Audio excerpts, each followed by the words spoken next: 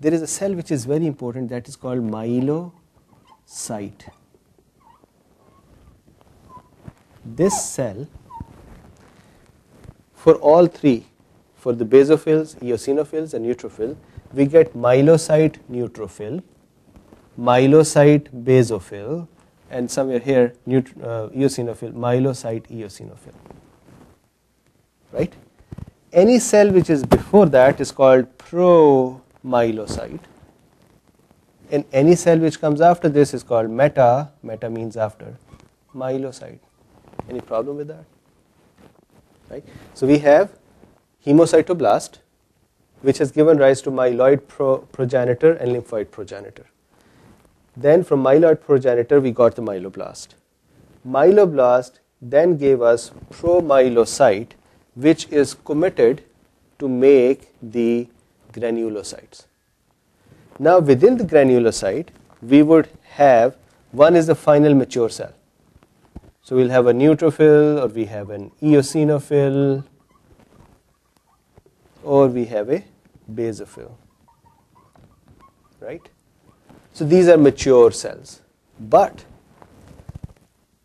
in the path to forming that, we would encounter a myelocyte, which is also a very important cell. And a cell before that is called promyelocyte. And what you do is you put the, the commitment. If it is neutrophil, then you say promyelocyte neutrophil. If it is eosinophil lineage, then you say promyelocyte eosinophil. If it is basophil lineage, you say promyelocyte basophil.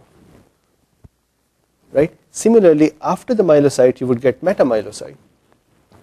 And metamyelocyte, again, same thing, metamyelocyte neutrophil, metamyelocyte eosinophil, metamyelocyte basophil. Many books actually for the neutrophil give all the steps. That is, if this is myelocyte, they give a pro, a meta, a band, I'll talk about band in a second, or stab, and then mature. But for the eosinophil and basophil, eosinophil and basophil, they just directly make them.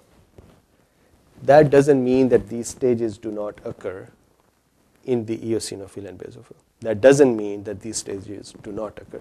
Actually, all of these granulocytes go through the same stages. So the important stages to remember is the myelocyte stage. So a cell before, pro, pro means before. A cell after, meta, meta is after. And then another very interesting stage is the band stage or stab stage. Band or stab. Here the cells have almost matured. They're almost done. So for example, in case of neutrophil, the band stage really has the, the, the nucleus almost becoming multi-lobed. And then as it matures and comes out in the blood, it becomes multi-lobed. Right? So band or stab. So myelocyte, keep that in mind. Before myelocyte is promyelocyte, after myelocyte is metamyelocyte, then appears band. Band has a clinical significance. Why? Because a person who's making too many of the cells, abnormally or normally, maybe there is a pathogenesis going on, maybe there's an infection going on, and there is a need to produce more neutrophils, or there is a cancer and neutrophils are being produced. Either way, you would see a lot of band cells in the peripheral circulation.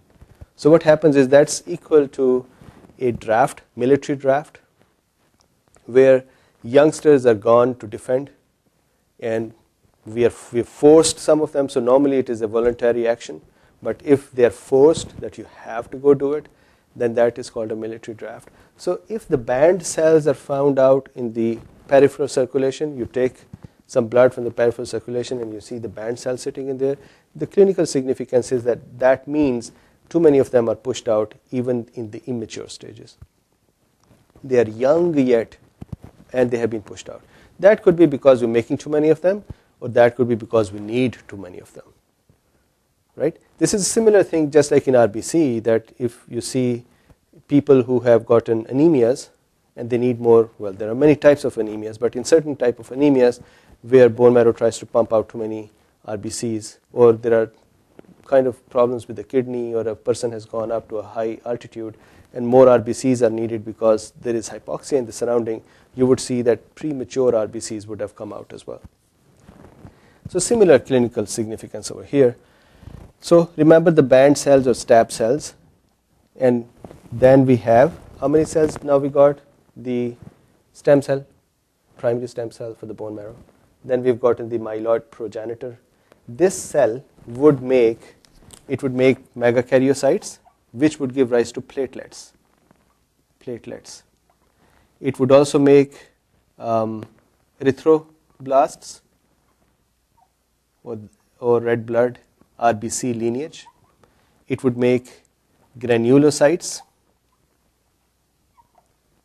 which we're, we're talking about one, one of the granulocytes we're talking today, basophils, eosinophils, and neutrophils. And it would make monocytes, which would then, you know, as, they, as long as they're in the tissue, in the blood vessels, they're monocyte. When they go in the tissue, they become macrophages. So really, if you think about it, very important cells. All of them are very important. Platelets for coagulations,